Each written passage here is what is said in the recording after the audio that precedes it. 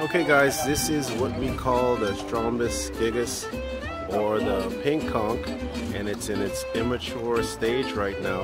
Uh, these guys can actually have up to 500,000 babies at one time. Okay, they're designed to have that many babies so that they can uh, ensure the continuity of their species. Uh, there's a lot of things that prey on the conch. Okay, it's a very slow moving mollusk. It slides along the seabed and uh, eats microscopic organisms and so forth. Uh, but its primary defense, of course, is its shell.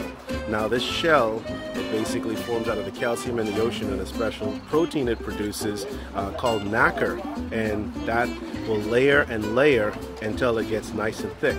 Now, an immature conch like this one, its lip won't be flared out, but once it reaches sexual maturity, that lip will then flare out. And the conch is, of course, a staple in the Bahamian diet. These guys will um, provide us a nice, sustainable food source, and of course, they don't really move that fast, so they're easy to obtain. So. Um, the pink conch is definitely uh, one of our natural treasures and preservation of it is essential. So what we make sure to do is uh, we don't fish these guys up until they reach sexual maturity. They've at least reproduced at least one time.